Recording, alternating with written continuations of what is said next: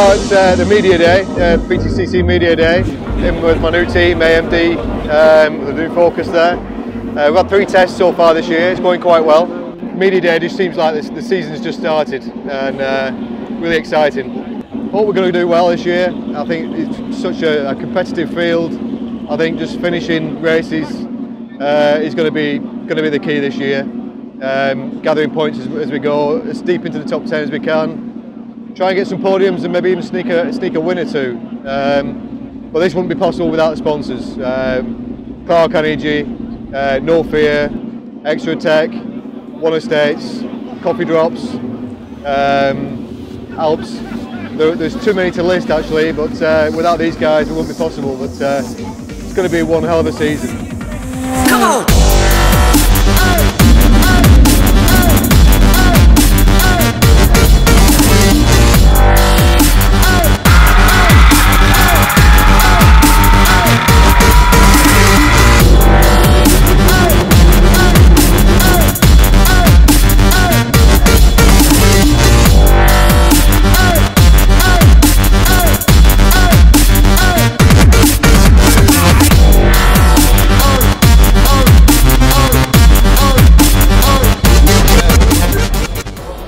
Well, it's been a good day at media today.